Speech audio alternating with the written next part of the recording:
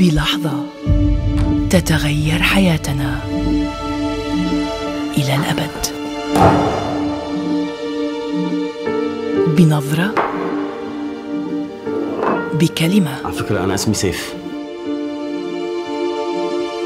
بلحظة غضب. ما جربت الشعور لما الشخص اللي بتحبه بيجرحك وبيشك فيك وبيحسسك إنه بلحظة ممكن يتخلى عنك. فرح. لو ما صار العرس كنا كلنا حنموت فهمتي؟ أو خسارة. لك شو بعد بدك تاخذ مني؟ شو؟ وما قبل هذه اللحظة أنت إيه قريبة؟ ليس كما بعدها.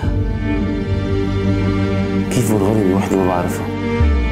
الحب يجي بلحظة سيف. ما بده أكتر من هيك. عملت شي ما كنت متخيلة إنه رح أعمله بحياتي. فكرت حالي عم بتضايق منهم بعد عم بتضايق من حالي ليش لحتى تحمل ذنبها؟ مش هي اللي ورطتك؟ شو خصك أنت؟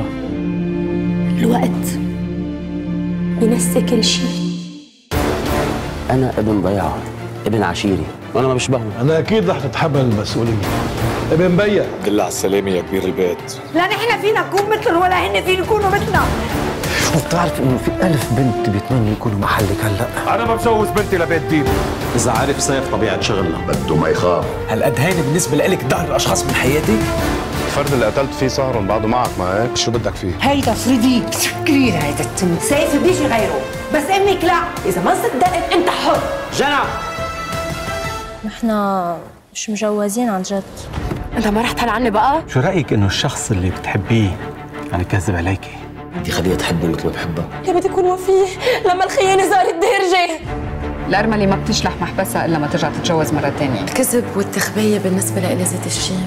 ما بقبلهم خاصة من شخص بحبه. بحياتك ما توثق بجنس الرجال بالأول تجوزها لأنها مرت خيو الله يرحمه بس لو بتشوفي هلأ قديش مغروفة. ما بدي أشوفه ما بدي أشتغل معه ما بدي أكون رفيقته. هو بطريقه وأنا بطريقي.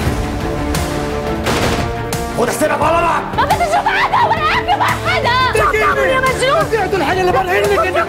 أنا مستحيل خليها تتجوز حدا غيري.